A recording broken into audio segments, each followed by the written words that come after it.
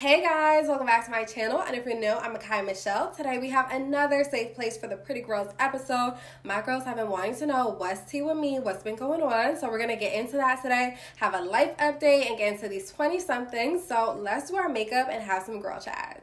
Girls, girls, girls. How's everybody doing? I hope everybody's feeling absolutely amazing. You know, before every single video, I always have to check in with my girls and see how everybody is feeling. Y'all, your girl has been feeling pretty good recently. I'm in this different space I haven't been in for a really long time. I think this is something that comes and goes for me for sure. But as of right now, I definitely have just found this new excitement for life, like this new hunger for life again.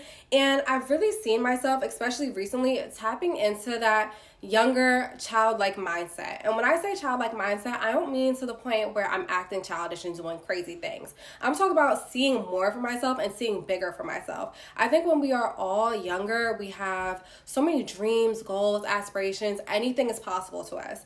And as we get older, society and the things that happen to us, experiences, challenges we face, kind of start to shape us that those things are unattainable and unrealistic, you know? And when I tap into that childlike mindset, that's when I'm my most creative. That's when I'm dreaming bigger than ever before.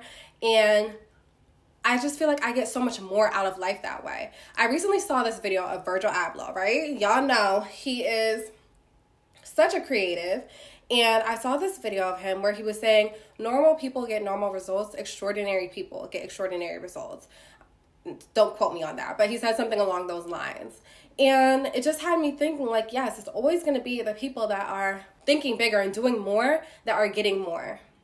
And a lot of us have to realize that there's no limits on what you can achieve. The only limits that exist in this world are the ones that you place on yourself. And whenever you place a limit on yourself, whenever you box yourself in, that's when you do a disservice to yourself and you're only hurting you. Boxing yourself in, limiting your own creative beliefs is self harm. Okay? Don't do it. Don't do it. Don't allow yourself to get in that mindset. And a lot of young people and young girls, especially, need to work on their self concept because when you want to change your life, the first step is going to be changing your mindset. So, the best decision you could ever make for yourself is reframing your thinking and training yourself to think outside the box. Think outside of what society has told you and what people around you have told you is possible for yourself. Y'all know me personally, I am very, very critical of myself.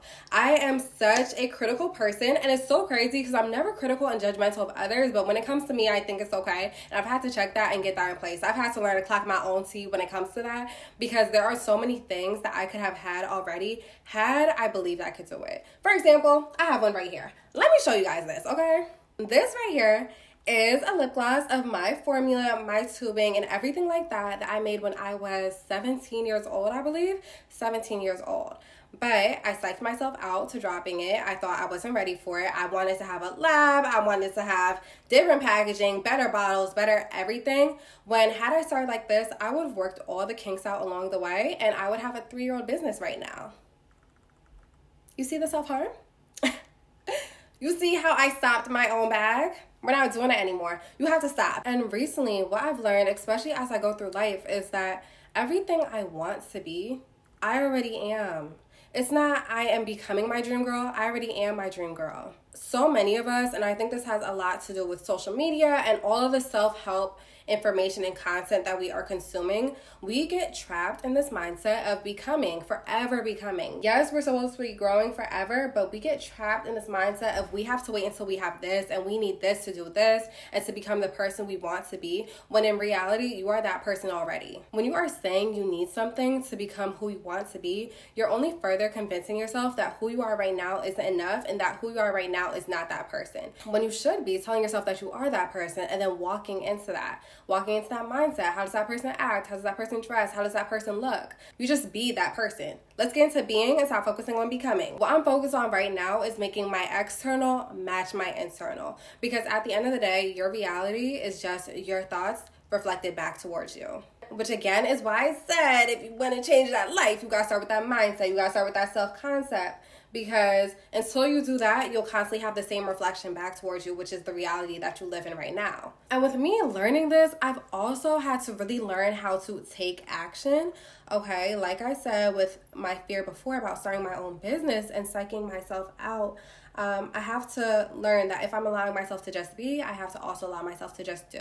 It's okay if you mess up along the way, but start somewhere. I've had to let go of my fears of failing, you know, especially with on the internet, y'all, for a long time because I've been making videos and content since I was about 10. I think I was literally in like fifth or sixth grade when I posted my first video on YouTube which is not up anymore. So don't go looking, okay? But with me being on the internet, there was a time when I was a teenager and I started to really get nervous about it because I'm like, hold on. Hmm, I'm watching everybody else, okay? I'm watching all the other content creators get their tweets from 15 years ago pulled up, okay? So I started getting a little bit nervous and I'm like, I'm so sure that a lot of the things I'm saying, I'm not gonna agree with in a few years.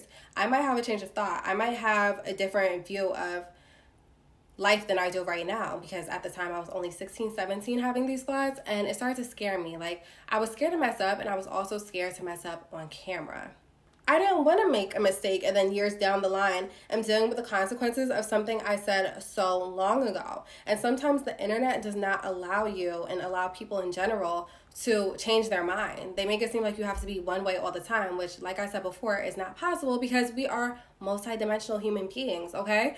Um, you can't ever be one thing. And what I've had to learn for the sake of my content and what I love to do is that my job is not to be perfect. I'm going to mess up because I'm only 20 years old. At that time, I was only 17, 16 years old. I'm going to mess up along the way. That is okay. My job is not to be perfect on the internet. My job is to show the girls how you can fall and get back up. Show the girls the beauty in the journey, okay? The beauty in falling and getting right back up, the beauty of going through things and facing challenges and running into obstacles and still coming out on top. Because at the end of the day, still I rise, okay? Maya Angelou vibes. Yeah, still I rise, Maya Angelou vibes. And honestly, there's no reason for me to even have the fear of messing up because even when I do, I always end up on top.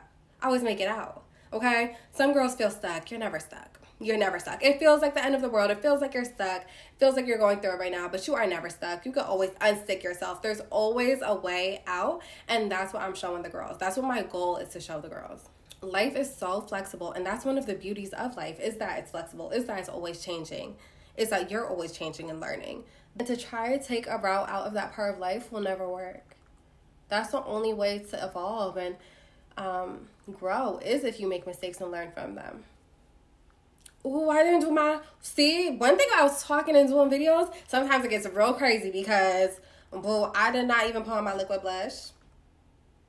I should have definitely did that before setting, but it's okay. I guess we're not using liquid blush. Mm, we probably still can. I think we can still make that work. We'll probably still add some, but that'd be one of the downfalls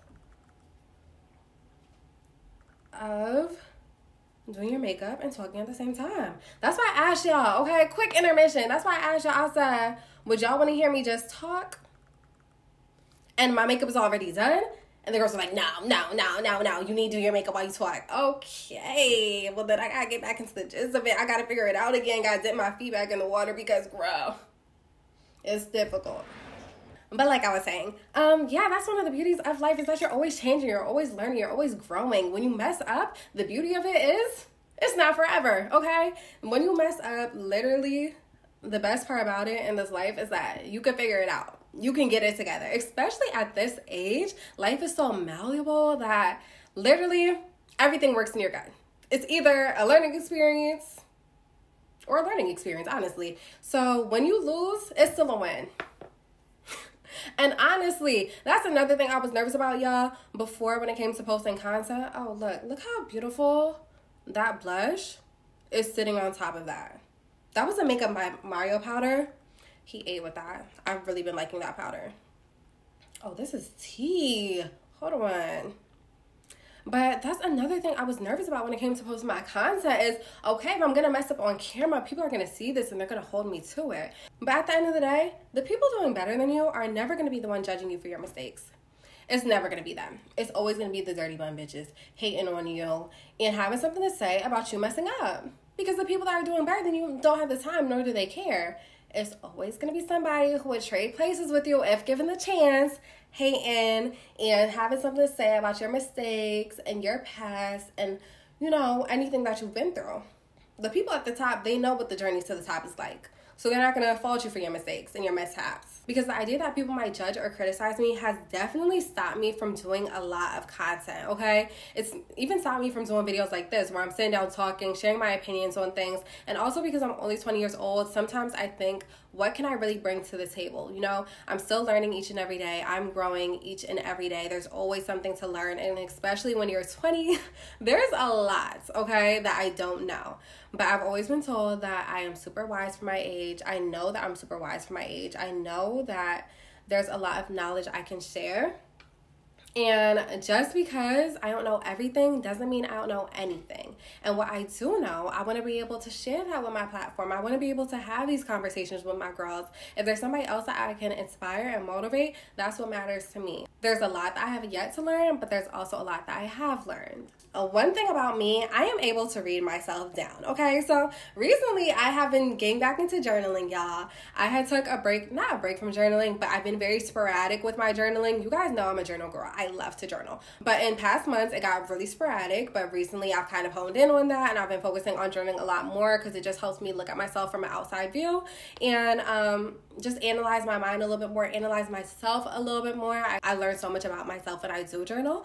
So recently, I've gone back into that and just keeping that stillness within myself. You know, when the world gets loud, I wouldn't remain quiet within myself. So I've been journaling. And one thing I have realized is that I have been moving way too fast, I have found myself constantly looking for the next chapter. I never really take that moment in the present. And again, this ties exactly back to what I said before about being stuck in that trap of becoming, becoming, becoming, and never allowing yourself to be. Um, I've been so focused on becoming, becoming, becoming, and running through these chapters of life that life is passing me by, okay? Time is already moving. I don't have to push it to move any faster. It's already going. I'm going to graduate next year this year, this school year, I am graduating.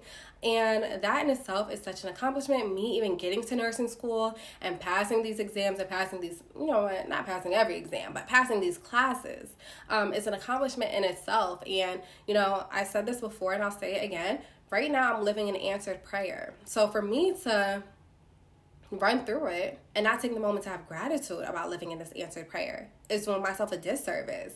I've found myself looking, ooh, almost broke my nail open in this job. I've found myself looking at past moments and being like, oh my gosh, I wish I enjoyed that a little bit more. So now my focus is being more in the present, um, having gratitude and being thankful for who I am right now because, you know, like I said, we're always growing. So who I am right now is already better than who I was before, and I'm only getting better with time and allowing myself to fully live within that moment. I know that's right. Ooh, this nose contour too snatched. yeah, this nose looks too good. This nose contour. I love using bronzer for nose contour. Sometimes when it's too cool toned, it doesn't come off as natural and it looks really harsh. So bronzer is like my go-to when I want to sharpen my nose a little bit. And part of what showed me that I was running through life just a little bit too fast was watching younger videos of myself, videos that I made in this room doing my makeup. And I'm looking back and I'm like, oh my gosh, 12 year old me did not know how iconic she was with her braces and black lipstick, child. Okay, like I was already so perfect and I had no idea. I was like, I need to do this, I need to be this, I need to be this, I need to have my glitter backdrop, I need to have this. When in all reality, personality has always been there. Talent has always been there. The girl was always there. I was already her. Okay. And I had no idea. And I was like, I know that there are going to be times where I look back at who I am right now. It's like she had it all together and she had no idea. Oh well baby, let me get a clue. Let me let me start having an idea then because we're not wasting any more time. And we can honestly learn so much from our younger selves because 17 year old me was scared to start a business. But 10 year old, 11 year old me wasn't. 11 year old me jumped on YouTube making beauty content. This whole platform is my 10 year old brainchild, okay? Like before there was even a term for influencing, I knew that this is something that I love to do and I was okay with putting myself on the internet looking crazy. You know, when you were a kid, you don't know how crazy you look, but looking crazy. 11 year old me didn't care when she got on the internet showing girls how to contour and she didn't know what she was doing herself. But she worked the kinks out along the way. Now the girls want tutorials. Clack that tea. Okay, guys, so we have officially made it to the end of this video. I really hope you guys enjoyed. If you did, please don't forget to give it a big thumbs up, comment down below, and subscribe to my channel so you don't miss any future uploads. If you want to see some behind the scenes, go ahead and follow me on all my socials. They will be listed down below. And with that being said, I love you all, and I hope to see you in the next one. Bye. Mwah.